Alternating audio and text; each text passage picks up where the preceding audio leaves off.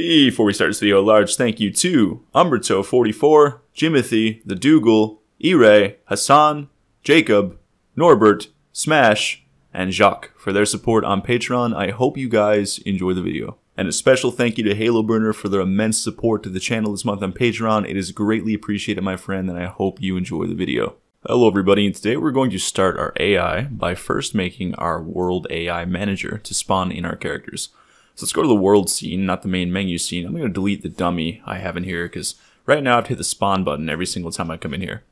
So we're going to make this one need to do that. I'm going to make an empty game object here, reset its transform, and I'm going to call it World AI Manager. Next, I am going to add a component to this game object, and I'm going to call it World AI Manager. So this is going to be basically the script that handles anything to do with our AI in the world scene. So I'm going to start by erasing the start and update function as is per tradition. I'm going to put in my namespace. And now I'm going to make this a singleton because we're only going to need one of these in the scene at any given time and we want to be able to reference it from anywhere. Going to make a public static world AI manager variable. Going to call it instance. You know how this goes by now. On awake, if instance is null, instance equals this, else destroy this game object. If you want to make this a bit safer, quote unquote, you can use a getter and setter, but I'm just going to use the public static uh, just the singleton class we've always been using here, the way of setting it up. So I'm going to say using unity.netcode up here at the top. And then I am going to make a start function. And on start, I'm going to simply say if network manager.singleton.is server, you could probably use is host too, but we're going to use is server. So if this is the server, meaning if this is not on the client's end, if this is not the client's network manager, then we're going to spawn all the AI in the scene. So how are we going to do that? Well, we're going to do it by using uh, an enumerator here, a, or a coroutine. So we're going to make a private IEnumerator, and we can just call this wait for scene to load and then spawn all AI in the scene. Why am I using an enumerator here? Well, I want to wait first for the scene to fully finish loading before I spawn in the AI. This is so they don't like fall through the floor or something if you have a very massive scene. Um, I just do this as a precautionary thing. So I'm going to say while and we're going to use the scene is not loaded. And to access the scene, we're going to need to say using Unity Engine.scene management. And then we can check to see if the scene is fully loaded.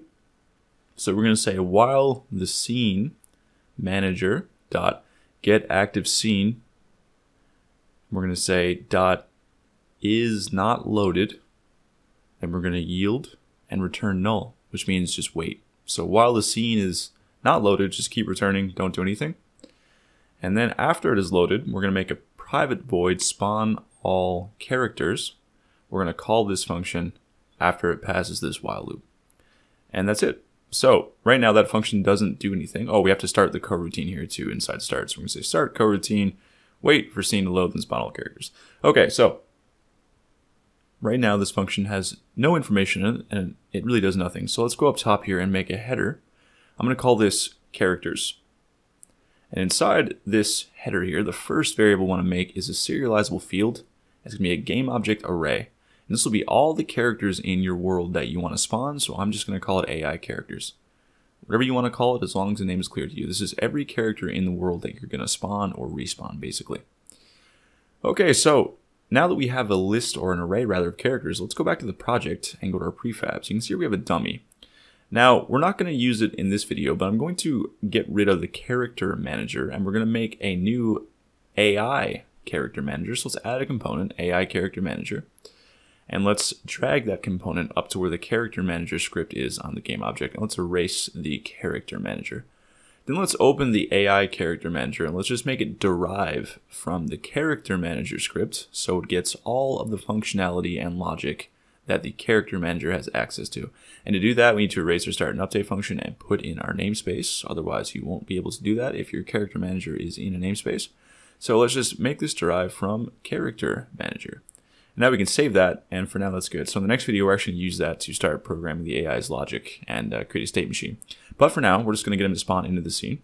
So let's go to the World Network Manager prefab. You can see here you have a little network prefabs list.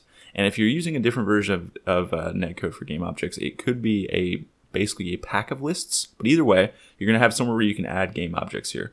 What you want to do is make sure you add the game object for your AI character into this list.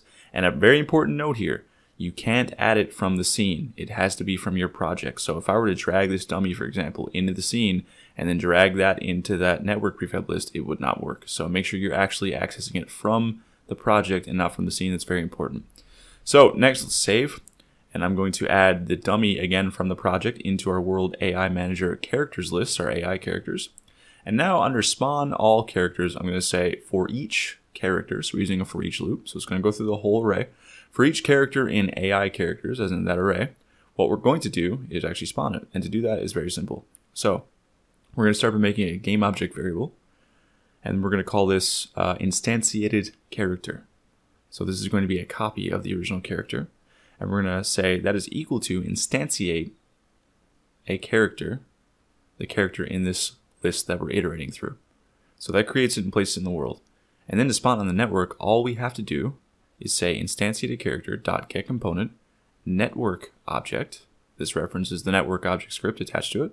Then we say dot spawn, and that's it. Now that should spawn if we save that and we were to test that out in the scene. But before we go over there now and see, let's make another serializable field for a list of game objects this time. And we're going to call this spawned characters or spawned in characters or whatever is clear to you as long as you know that this is a list of all the characters you have already spawned. And then after we spawn the character, we're going to add to spawn in characters the list or the character to that list rather. And now if we save that and make a prefab of our world AI manager and save the scene because that's very important. If I go into the game here now, you can see we have a spawned in character. And if I'm on the other client here, you can see I'm hitting it. So it's spawned in for both of us.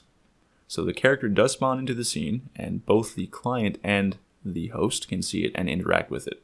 So that is working as intended. Now, what if you want to change the position of the character? Well, it's very straightforward. You don't need to over-engineer this.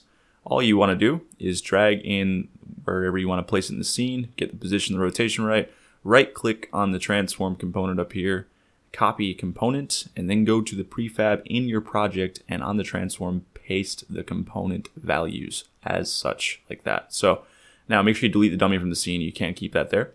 I'm going to also rename this to dummy01, and I'm going to duplicate it and rename it to dummy02. Now, this is a separate game object, so make sure you're adding this new game object to the network prefabs list again as well. So I'm just going to get dummy02's uh, position here in the game just to show you that this works and we can set up two different transform positions. So I'm going to copy this again, the component of the new transform rotation position. And on dummy 2, I'm going to paste this second position. Now I'm going to delete this dummy from the scene. Now go to our network prefabs list and add this here. Also, don't forget to add it to your newly created World AI Manager to actually spawn it into the scene, but make sure you add it to this list first.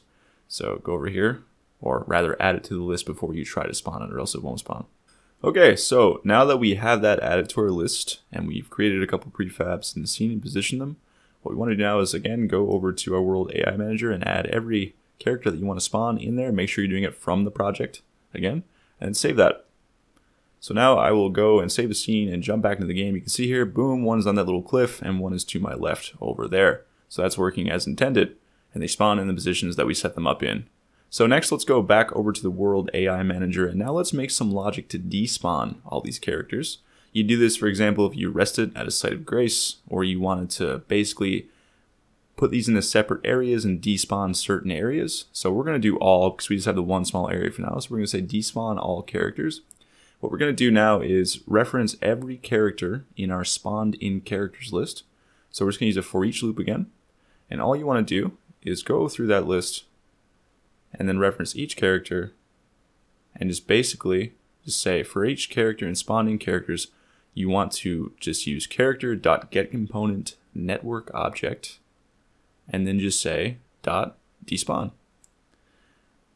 That's it. Now you want to clear this list after and reset it, but we're going to get to that and we'll actually clean up the list and reset it when we actually get to making sites of grace and checkpoints. I just want to show you that this works for now. So we're going to make a header and debug, and we're just going to set up two variables, a bool for respawn and despawn all characters. And when we switch these bools to true, we're going to do either of the actions. And I'm just going to show you after two, and we're going to connect with the client that you can see this is respawning and despawning on both the client and the host's end.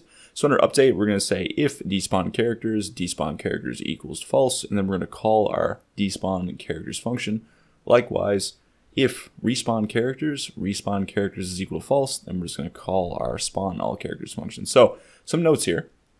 You might not want to actually despawn them all. You might want to disable them, which we're going to cover in a future video. But before we get into that stuff, that's more optimization setup. We're actually going to get the AI's logic in. So in the next video, we're going to focus on actually setting up um, some states like idle and pursue target, etc., etc. But then after we've done all that, uh, we'll get into all those little logistics. So you can see here, I've got a client connected. I'm running around. I've also got the host. Now, if I go over and despawn all the characters, and I drag over here my client window, they're gone. Now, if I were to respawn the characters here, you can see they both pop back up here in the host view. Now, if I were to drag the client window over here as well, you can see, boom, there they are. So this is working as intended. Now you have a way to spawn in and despawn in characters. And this sets us up perfectly to create some little scenes. So before we go though, I'm going to expand upon a comment I made earlier. And I'm just going to make a an empty function here now. We're going to fill it with a to-do list because we are going to do this in the future. We're going to call this disable all characters and instead of despawning them. So what we do here is basically we're going to set up a flag and we're going to have it so it's a network variable and it will just basically state whether the character is disabled or enabled. It'll be a bool. And when you join as a client, depending on that bool status, we're going to enable or disable a game object, um, et cetera, et cetera. What are the pros of this? Well, you're not spawning and despawning a bunch of game objects, so it's nice. It's a bit easier in the memory load. And also, you might want to have just some things readily available just to turn on instead of having to spawn it, because if you get a lot going on and you need spawn in, say, 150 characters, that could cause some stutter or just some unnecessary frame drops or memory problems. So sometimes it's better to do that when you load into the game and then enable them and disable them as you need them.